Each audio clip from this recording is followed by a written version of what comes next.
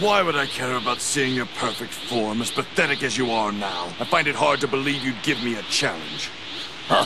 Huh? Give you far more than that. You wouldn't even stand a chance. Really?